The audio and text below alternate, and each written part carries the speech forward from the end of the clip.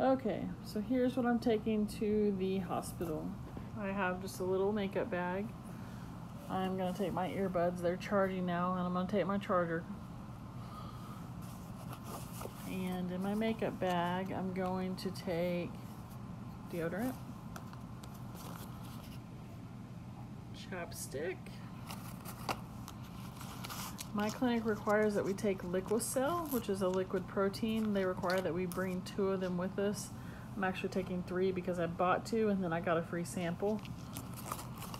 So putting those in there. I got the free sample from ProCare. You can go online and order a sample box and they send you some LiquaCel, a multivitamin, a couple other things if you want to check that out. And then I'm taking, it's like all the vitamins that I take in one day, I was just able to pop out one day's worth of, um, I guess a sleeve is what you would call it, just one day's worth. So that I have that with them to see, they can check the pill size and tell you when you can start taking those again.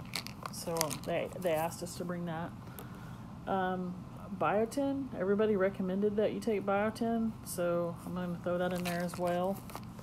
And then I have some lotion. I'm actually sunburnt right now. Well, I hope they don't judge me for that. So I'm actually taking an after sun sun lotion. And then I have to wear a mask because of COVID, so I'm taking it. And a hairbrush, which I'll organize all this after my video, but uh, we have to take our own spirometer because we've been using them for a couple weeks now. So they give it to us to keep. Uh, TMI, but a sports bra my toothbrush and toothpaste in here. I bought yoga socks. I bought four pair because they came in a, in a pack. Um, but they have these little grippies on them just because the hospital socks are so ugly and not always uh, very form-fitting. They tend to twist and turn. Um, a couple pairs of underwear. And then I'm taking a pair of shorts. Um, these are rather large because they say you'll be somewhat swollen. And then I'm also taking a pair of uh, longer pants just in case it's cold in the hospital. They're a little large as well. And then I'm thinking about taking a pair of shorts or at least wearing a pair of shorts that are tighter just in case. But people say you're swollen when you leave, so um, that's why I chose to take the bigger ones. And then I'm also taking this pair of slippers just to be able to slide them on and off. And I'll probably wear my flip-flops in. So that's the gist of what I'm taking in my hospital bag. I feel like I'm taking a lot, but I've checked my notes a couple of times and that's kind of the norm um, from what they've told me to bring. So hopefully I can fit all this in a backpack because I also have to, oh, most importantly, I gotta take the lovely CPAP.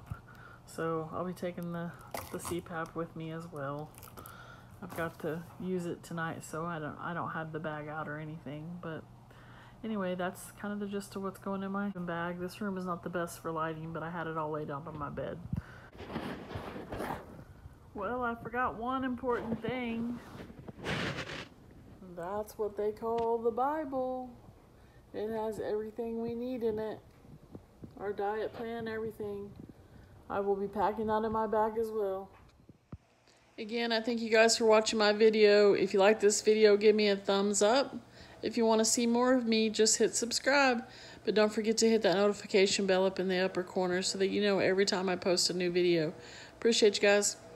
Bye.